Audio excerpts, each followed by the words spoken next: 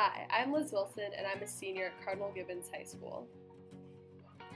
I transferred my junior year. The day before school, I went to a transfer night and I was blessed to immediately have made friends.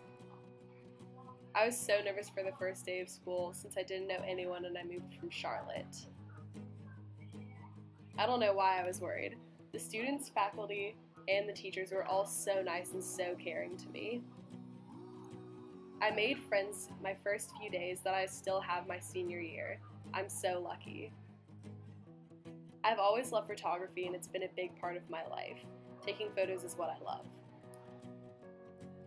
Mr. Vessa was my photojournalism teacher and taught me a lot more of not just photography but journalism. And I met a lot of friends in photojournalism, including Alex, who's one of my best friends now. I joined a media club and was lucky to be a great leader in that area. I saw Gibbons in a whole entire different way and was able to share people my view of Gibbons. I'm so blessed to have had the ability to transfer to Gibbons for my last two years of high school. Gibbons is such a family, it's been amazing to watch them grow and love on each other no matter what. I've grown closer to my faith and have been able to help other people grow in theirs. I've also become more in touch with myself and been more happy. I'm super excited to live it up my senior year. Go Gibbons!